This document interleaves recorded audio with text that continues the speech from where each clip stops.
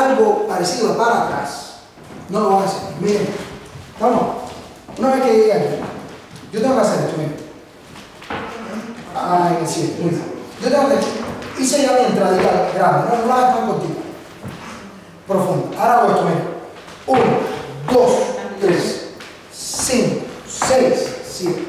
El uno cortico y el dos grande. Y el cinco cortico y el seis. Cuando hacen el uno muy grande, el dos se le queda corto. Entonces se, se nota algo así, fíjense. Tomen.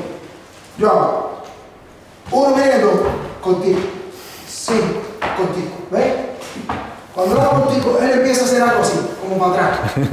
Como para atrás. ¿Ok? Entonces, aquí la idea es, fíjense, si yo traigo este pie hasta aquí y después este hasta aquí, estoy haciendo la misma distancia. Si yo hago, fíjense, mi hermano, yo traigo, yo tengo este pie en el rojo, punto rojo y este en azul. Cuando yo hago uno, casi que los tengo juntos, y cuando hago el dos, puse mi pie donde estaba ahorita el otro pie, ¿verdad? Acabo de hacer algo bueno para mantener el ritmo, porque estoy haciendo los mismos trozos. Pa, y ahora igualito. Ta, ta, grande, ¿verdad? Ta. Pero si yo hago uno grande, el 2 ya lo traer para acá. Lo que más me puede pasar es que lo deje en el mismo lugar.